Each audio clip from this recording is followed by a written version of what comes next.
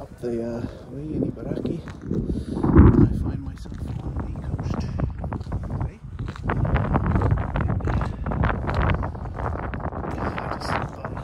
the shoreline, off the main road because we're pretty close uh, figured I'd uh, take a look and see what we can see out here.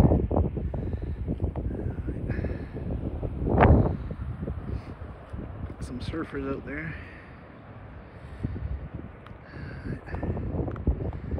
Right, if you look way up the coast there, the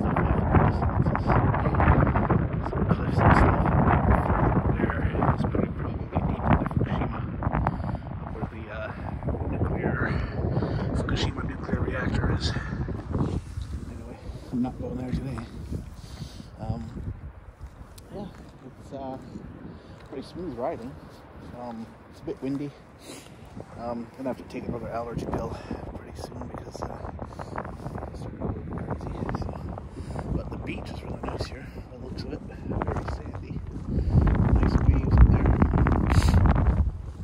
Uh, so I've been coming from the south down that way, and uh, I'm over halfway done for the day. So I'm gonna go uh, since I'm making good time, go find some lunch um, not too far away, near the next station. So, and then uh, after that, it'll just be I think three more stops to do today.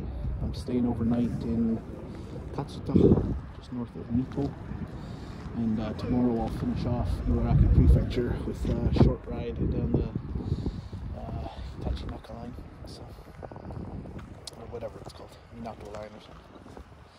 Anyway, that's it. Uh, signing off from the uh, sunny beaches of Ibaraki. Catch you later.